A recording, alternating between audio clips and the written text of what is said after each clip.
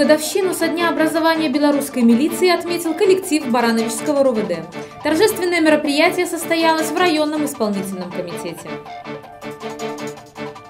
В Центральной городской библиотеке имени Валентина Тавлая состоялась респект встречи Дмитрий Строцев, поэт, издатель, исполнитель. Победа со счетом 6-5 над Брестским «Титаном» и второе место в турнирной таблице. Хоккейный клуб «Сталкер» завершил второй круг второго сезона областной любительской лиги «Берестия». Здравствуйте, уважаемые телезрители! В эфире программа «Вести Барановичи». 4 марта свой профессиональный праздник отметили те, кому выпала честь достойно носить звание сотрудника органов внутренних дел Республики Беларусь. В этом году наша страна отметила 101-ю годовщину со дня образования белорусской милиции. Накануне в стенах районного исполнительного комитета собрались действующие сотрудники и те, кто находится на заслуженном отдыхе. Лучшие милиционеры были награждены грамотами, благодарностями и медалями. «100 лет милиции» милиции Беларуси. В воскресенье белорусская милиция отметила свой 101 день рождения. По этому случаю в районном исполнительном комитете состоялось торжественное мероприятие, которое объединило всех сотрудников Барановичского РОВД. Милиционеры каждый год собираются, чтобы за добросовестный труд получить заслуженные грамоты, благодарности, памятные медали и очередные звания. Как правило, блюстители закона свой профессиональный праздник отмечают на боевом посту, но в трудовых буднях всегда найдется место для праздничного момента. В этот день в адрес сотрудников и ветеранов органов внутренних дел прозвучало много теплых слов. В этом году мы все вместе с вами отмечали 55 лет образования нашего районного дела внутренних дел.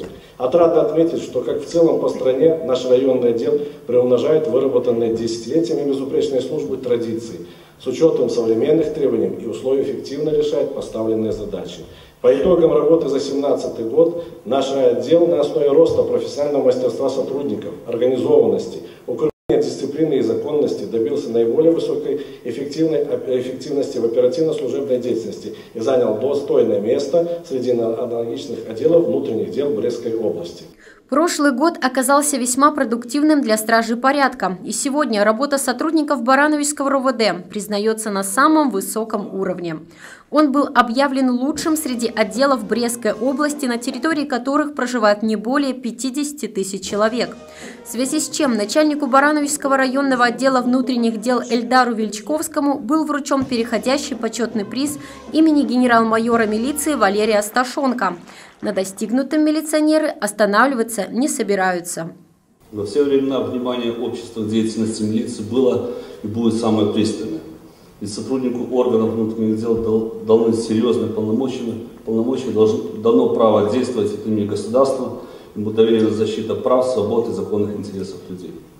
Отсюда и высокая мера личной ответственности правоохранителей и требования к деятельности нашей ежедневной. По завершению все участники мероприятия вернулись на свои рабочие места, чтобы и дальше поддерживать стабильную и контролируемую оперативную обстановку в зоне обслуживания.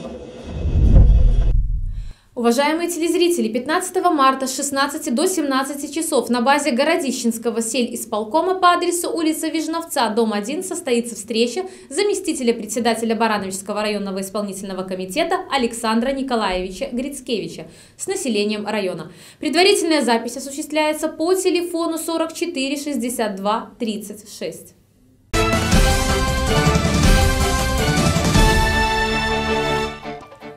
Центральной городской библиотеке имени Валентина Тавлая состоялась респект-встреча Дмитрий Строцев, поэт, издатель, исполнитель. На мероприятии были приглашены ученики гимназии номер 5, лицея номер 2, студенты БРГУ и солдаты Барановичской войсковой части 7404. Это уже второй визит поэта в наш город. Первый состоялся во время открытия выставки Антоний Сурожский «Жизнь для меня – Христос». Как будто птица ты летишь куда-то, Летишь, поешь, и Бог тебе навстречу, и Бог с тобой, и ты один за всех, и ты один за всех пред Ним в ответе, один за безнадежных и надежных, один за безязыких и языких, один как перст, с Богом говоришь. Уже стала доброй традицией приглашать в Центральную библиотеку имени Валентина Тавлая творческих людей. Не только нашего города, но и республики. В этот раз жителям Барановичей представилась возможность познакомиться с гостем из Минска, поэтом, издателем, членом Белорусского пен-центра и Союза белорусских писателей Дмитрием Строцевым. Накануне состоялась «Респект» встреча Дмитрий Строцев, поэт-издатель-композитор. На Барановичской земле он уже во второй раз. Первое знакомство состоялось в прошлом году. Неоднократно приезжаю в Баранович, вот второй раз по приглашению библиотеки. Первый раз мы привозили выставку митрополита Антония Сурожского.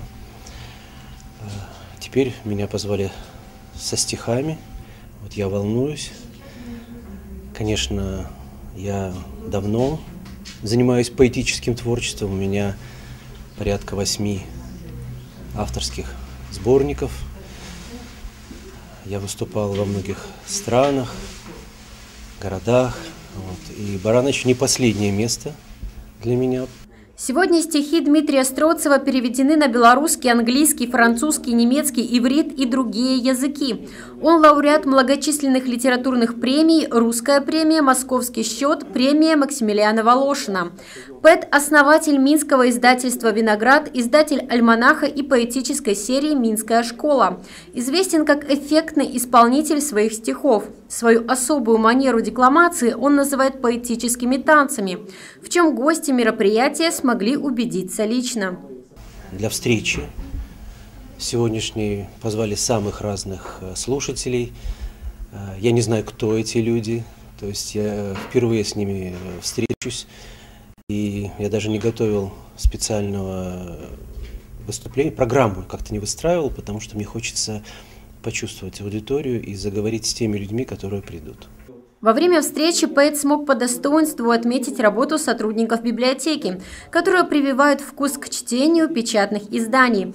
И это век компьютерных технологий, когда гаджеты стали неотъемлемой частью нашей жизни, в частности электронные книги, заметил Дмитрий. Я, честно говоря, вот здесь в библиотеке как бы снова вернулся в э, библиотечное пространство, потому что мне казалось, что библиотека, она как-то умирает, и э, все из дома не выходят, все читают и находят информацию в интернете, и даже любимые произведения. Вот, и был очень тронут тем, э, насколько вот здесь Баранежская библиотека живет. Дмитрий Строцев выразил уверенность в том, что с поэзией нужно встречаться чаще, особенно представителям подрастающего поколения. Ведь для них поэтическое слово в будущем может оказаться прочным духовным стержнем. В Волковыске подтверждено заболевание корью у пяти человек, еще три случая под подозрением. В Барановичском регионе сохраняется благополучная эпидемиологическая ситуация. Случаев заболевания кори нет, уровень вакцинации жителей региона более 98%, превышает рекомендуемый Всемирной организацией здравоохранения. Последние два случая были зарегистрированы в Барановичском регионе в 2014 году. Жители нашей страны прививаются против кори согласно национальному календарю прививок дважды. Первый раз прививку делают малышу, когда ему исполняется год, второй раз в 6 лет. Специалисты рекомендуют тем, кто собирается в поездку за рубеж, обезопасить себя прививкой, если по той или иной причине человек избежал профилактической вакцинации. В Европе продолжается вспышка кори. Особенно осмотрительными нужно быть тем, кто планирует посетить такие страны, как Украина, Сербия, Румыния, Италия, Великобритания, Греция, Германия, Латвия, Польша, Франция, Швеция.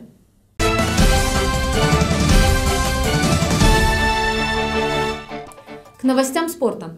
Победа со счетом 6-5 над Брестским «Титаном» и второе место в турнирной таблице хоккейный клуб «Сталкер» завершил второй круг второго сезона областной любительской лиги Берестия. О ледовых баталиях в следующем материале выпуска.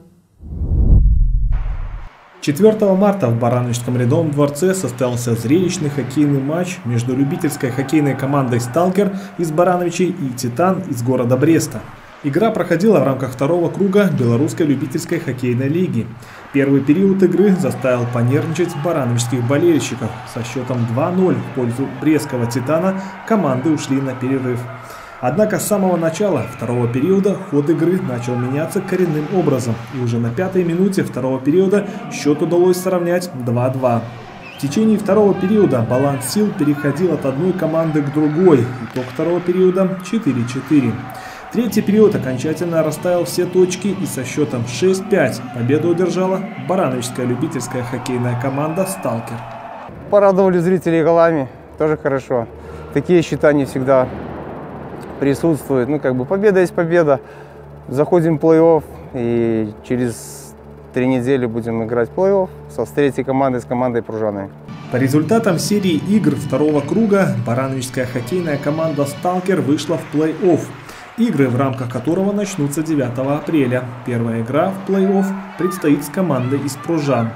По результатам игр в плей-оффе далее пройдут 4 команды, которым в свою очередь придется побороться в полуфинале и финале. Первая игра плей-оффа будет проходить в городе Барановичи, поэтому приглашаем всех желающих прийти и поддержать барановичскую хоккейную команду, ведь болельщики, как никто другой, может настроить игроков на хорошую игру. Впереди белорусов ожидают большие выходные с 8 по 11 марта. Прием в барановичских поликлиниках будет вестись без переносов. 9 марта – рабочий день. Определила график работы отделений почтовой связи и Белпочта. 8 и 11 марта будут открыты только дежурные отделения, 9 и 10 – все, по установленному режиму. Изменит расписание общественный транспорт. Скорректирован график перевозок по ряду междугородных маршрутов. В частности, 7 марта транспорт будет работать по графикам пятниц, 8 марта – суббот, 9 и 10 марта марта будних дней. Этой информацией мы завершаем сегодняшний выпуск. Всего вам доброго. До свидания.